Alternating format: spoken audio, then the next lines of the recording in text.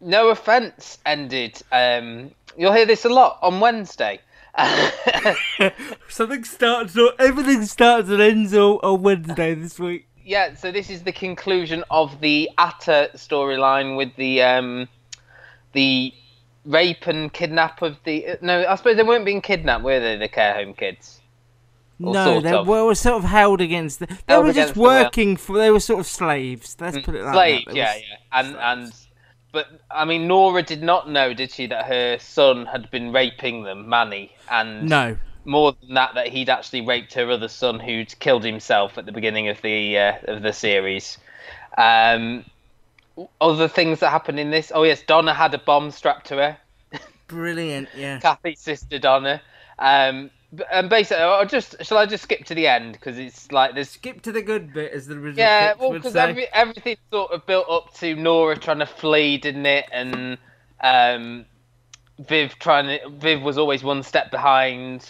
Basically, what happened is they they chased them to a pig farm. Nice. Um, Yay. and uh, there was a helicopter there waiting for them. I And, think uh, they're right in saying the pig farm was the deaf lawyer's place. Oh, was it? Oh, okay. Because they said he- they'd gone to his place. It's the only place that could land a, a chopper. I'd love to see the deaf lawyers. I Yeah. want a spin off, a spin off of the deaf lawyers just helping other people like the good wife. um, and then uh, basically what happened was that Manny got decapitated. Like his, like, well, I suppose it wasn't Oh his dad, God. was it? Because No. it, it started with him being sort of killed by a sign, wasn't it, at the beginning of the series? Yes, and Manny was yeah. decapitated by a helicopter at the end of the series. Um, with Very Nora sort of. brilliantly done. It closed everything off perfectly. Mm. Uh, it brought it back to episode one, which is really well done because I hadn't actually thought about The bomb in the, f- church. yeah, I hadn't actually given that much consideration past the episode that it was in, so it was nice that they were still talking about that. Everybody had something to do. Will Mellor Mm. was very good.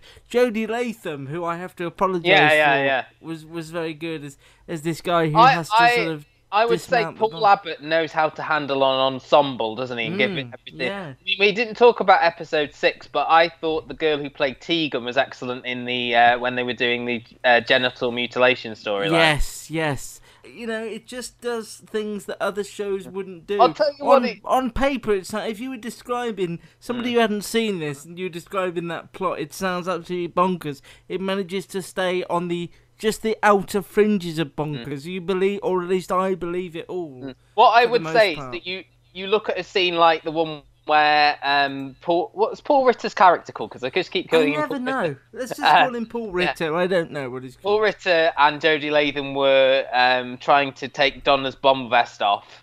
Yes. And that scene you've seen, you know, you've seen a bomb defusal disposal scene a couple of times.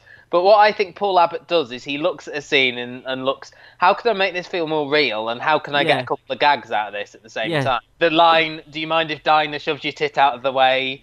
Yeah.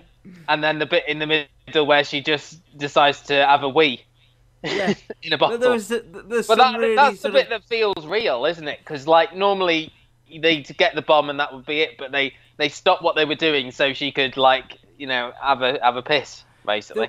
All right, now calm down, dear. It never feels bonkers. It Mm. sounds bonkers. I don't quite know how they do it. It just never. It always feels right in the world of the show and Yeah. in my world. I don't quite know how they do it. You mentioned at one there. There was a couple of things that you thought that they were starting at one that they sort of dropped. I mean, the main thing I thought was that they sort of build up like the feud with Sarah Solemani, but um, they because you saw her at the awards ceremony, didn't you? Mm. And she was like, oh, she, you know, she's one of the lads, blah blah blah.